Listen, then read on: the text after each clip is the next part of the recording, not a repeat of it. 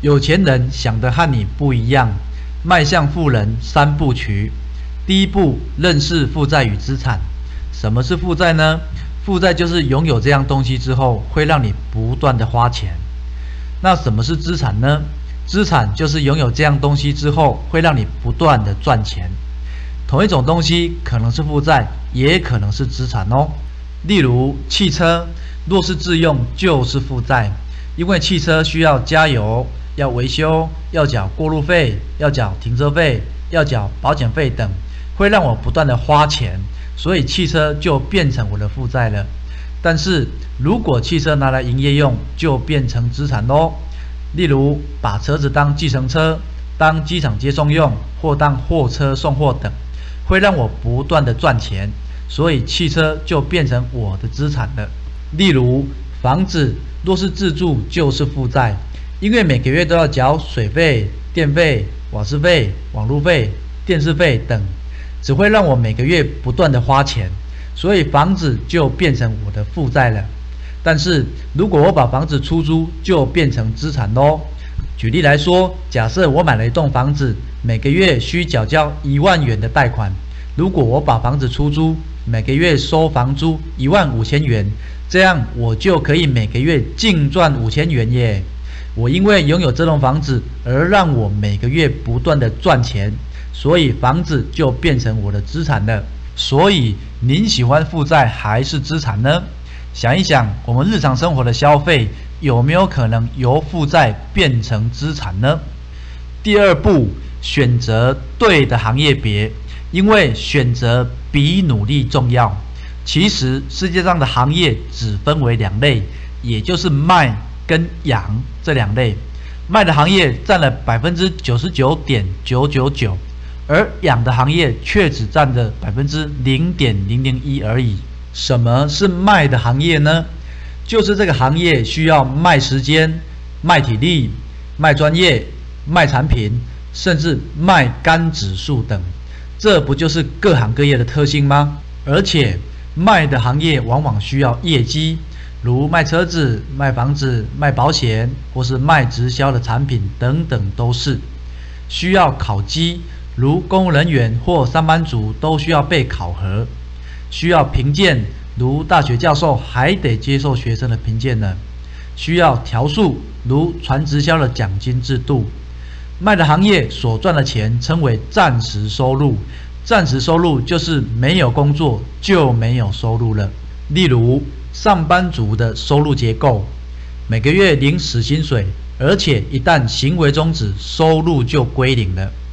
传统生意的收入结构，大多从负债开始，因为要投资才能创业，每个月收入起伏不定，而且一旦行为终止，收入就归零了。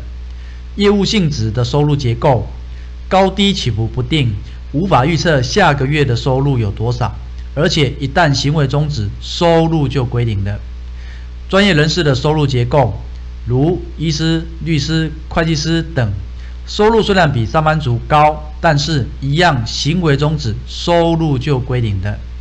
结论就是各行各业行为终止，收入归零。为什么会这样子呢？因为没有自动运转的系统，所以没你不行。结果就是。不断归零加不能累积，意思就是不管我这个月有多努力，收入有多高，下个月还是要从零开始，永无止境的忙碌一辈子。最后，时间会变成你的敌人，因为你会变老，能力和体力会逐渐衰退，让你越来越没有竞争力。那什么是养的行业呢？这是非常非常稀少的行业哦。因为这些行业都被政府或财团所垄断，例如水电、天然气、电信网络、有线电视等，这些都是家家户户每个月要花出去的钱，也是国家的命脉产业。养的行业是在累积用户数，也就是市场占有率。举例来说。中华电信拥有全台八百万个用户，而台湾大哥大拥有全台五百万个用户，则我们可以说中华电信的市场占有率比台湾大哥大还要高。所以养的行业是在建构一群庞大且忠诚的老顾客，每个月主动且持续不断的循环消费。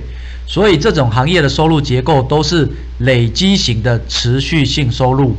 这种收入具有大、久、稳三大特性。为什么收入会变大呢？因为用户数会不断累积，所以收入会越来越大。为什么收入会很久呢？因为用户每个月持续消费，所以收入会很持久。为什么收入会很稳呢？因为用户会持续累积且持续消费，所以收入会很稳定，不会忽高忽低。而且，就算用户数不再增加了，收入仍然会持续而来。就像中华电信拥有八百万个用户，即使用户数不再增加了，下个月的收入依然会持续而来，因为这些用户下个月仍然会持续缴费。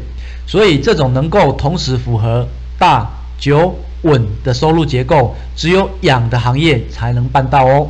所以，养的行业都是在建构系统。并且让系统可以自行运转，因此可以不需要有你，你将可以获得自由。这种收入被称为非公司收入或被动收入或资产收入，也就是没有工作也有收入的意思。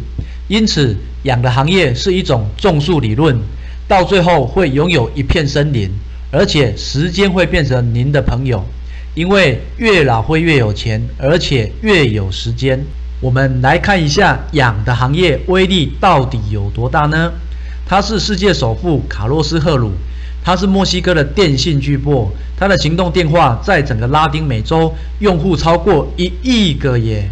他就是在建构系统，建构一个电信业的月循环消费系统。我们假设这一亿个用户每个月都只缴交两百元的通话费就好了。则卡洛斯·赫鲁每个月都会有两百亿元的收入，是不是很惊人呢？因此，他可以大胆的去投资各种产业，而且不用太担心风险的问题，因为背后有一个非常庞大且稳定的现金流在支撑着他。试想，卡洛斯·赫鲁光在一个国家收电信费就成为世界首富了，可见养的行业所产生的持续收入力量有多么的强大。有一次，记者问卡洛斯·赫鲁：“请问您赚大钱的秘密是什么呢？”他竟然回答：“我并没有赚大钱，只是墨西哥人民每个月付给我一点小钱而已。”因此，我们得到一个结论，就是赚庞大客户群、每个月持续循环消费的小钱，是富人永不缺钱的秘密。最后，我们利用这张对照表，将卖跟养做个总整理。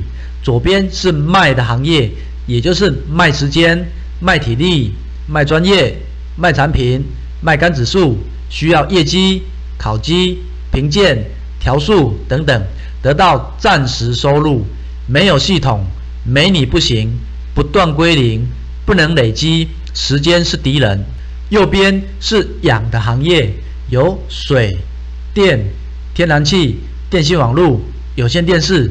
这些行业都在累积用户数，得到累积型的持续性收入，目的都在建构系统。可以没你，结果是一片森林，时间是朋友。所以您喜欢卖还是养的行业呢？想一想，你有可能拥有养的事业吗？第三步，掌握趋势。何谓趋势呢？就是现在已经在发生，未来即将大流行。我们来看看企业发展的趋势。工业革命之后，生产者如雨后春笋般崛起，造成产品供过于求，于是产生了红海战略。大家都在打价格战，市场陷入一片红海，甚至血本无归。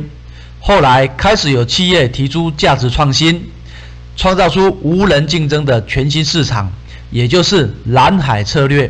而近年来，日本经济学家更提出了绿海的概念，也就是企业应该要报恩与施恩于消费者，并且要与环境互利共生，创造共享共赢的局面。所以，我们来认真思考一下，企业的本质到底是什么呢？其实就是爱的延伸，也就是企业家的起心动念是在帮助这个世界解决问题，发挥大爱，而不是着眼于利润。比尔盖茨曾经说过：“我这一生只想帮助人类快速的进步，至于会成为世界首富，纯粹是一场意外。”慈悲的企业家温世仁也曾经说过：“全世界最大的商机就是消灭贫穷。”所以。真正的财富是追随着对世人的价值与贡献相伴而来的，这就是爱的延伸。接下来我们要来讨论商业模式的演进，因为不同的商业模式有不同的投入条件、难度、风险、渠道等。首先是经销商模式，需投入资金、加盟费、人事费、店面、囤货、固定资产等，难度很高。风险很大，走的是地网，也就是传统店铺的行销模式。后来发展出直销商模式，需投入销售、补货、囤货、送货、销价、欠款、扛业绩等，难度亦高，风险易大，走的是人网，也就是人际网络的行销模式。近来网络崛起，出现了网商，需投入金流。物流、寻找供应商、发广告、网页管理、系统架构、网络知识等，难度仍高，风险仍在，走的是天网，也就是云端网络的行销模式。最后也是最新的趋势，称为消费商模式，也就是生产者直接面对消费者，省去中间商的层层剥削，消费者只要分享资讯。就可以与企业分享营收利润，完全无难度，完全零风险，走的是地网、人网、天网三网合一，也就是透过任何的管道都可以分享资讯。因此，消费商有八大特性：一，他给予别人的不是产品，而是机会；二，花本来就要花的钱，赚本来赚不到的钱；三，没有员工。无需管理，没有风险。四是资讯传播者，也是财富自由经营者。五是最轻资产的商业模式。六可以是第一职业，也可以是第二职业。七消费者可以参与利润分配。八是互联网、物联网时代的必然趋势。管理学大师彼得·杜拉克曾经说过。未来的财富将涌向知识的传递者与实践者，然而此知识必须是对人类有贡献、善的知识，这就是消费商的概念。比尔盖茨也预言，未来所有的媒体与娱乐都将由软体带动。下一个数位十年，重点在于连接人与人，也就是说，过去的财富来自买卖，未来的财富将来自连接。目前已经发生在你我身边的最新商业模式，如 Uber 是全球最大的计程车公司，却没有一辆计程车，因为每个人都可以注册成为计程车司机；如 Facebook 是全球最热门的社群网站，却没有一个内容制作人，因为每个人都是内容制作人；如 Airbnb 是全球最大的住宿服务，却没有任何实体旅店。因为每个人的家都可以成为旅店，这就是未来的趋势。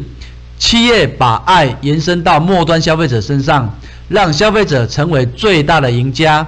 因为他们深知，唯有让消费者成为真正的赢家，企业才得以永续经营并日益壮大。